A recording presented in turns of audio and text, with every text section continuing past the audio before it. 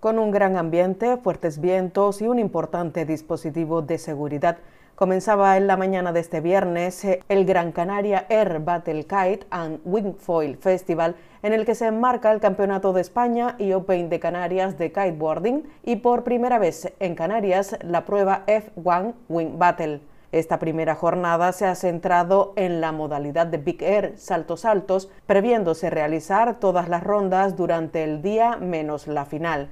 Los más destacados de la mañana en esta modalidad han sido los hermanos Casati y Jeremy Burlando.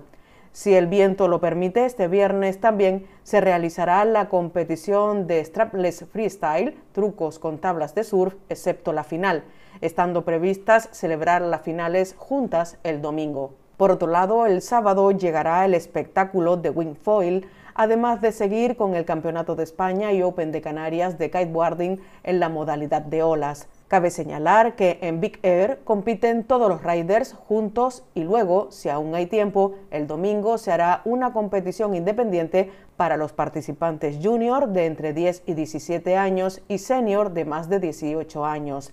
También se han establecido otras categorías como Grand Senior y Master, siendo sin embargo los podiums más destacados los de la categoría general y la junior.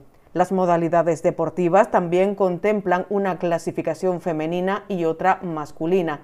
Sin embargo, cuando no hay personas suficientes de alguna de estas, se incluyen todos en la competición global y luego se otorga un premio independiente, tal y como ha ocurrido con la modalidad femenina de strapless, ya que solo hay una participante. Por el contrario, en la modalidad Big Air hay siete competidoras, por lo que se hará una competición independiente.